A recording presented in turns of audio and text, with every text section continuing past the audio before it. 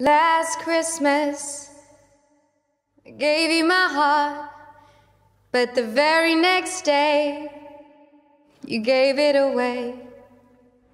This year, Last Christmas, I was really sick and almost died. save me from tears. I don't tell people because they get weird.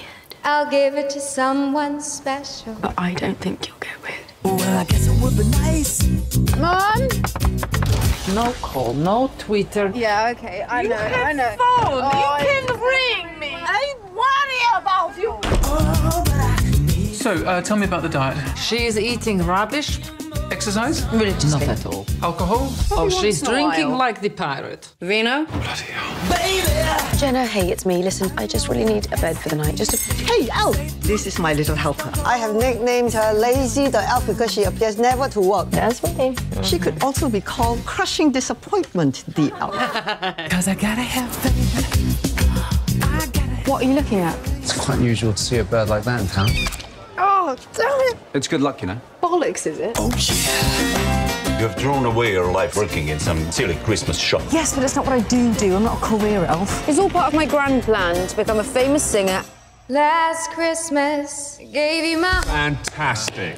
Fantastic. Oh, uh, sorry. No, no, no. It was, was shit.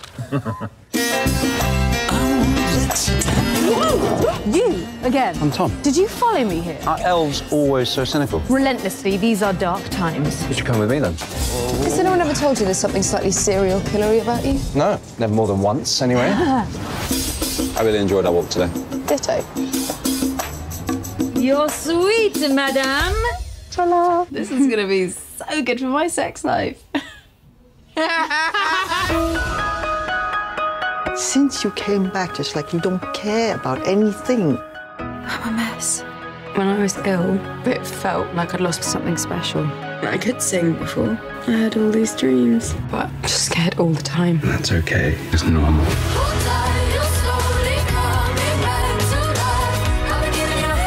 Why me? It was always going to be you. We are so lucky to be alive. I like this man.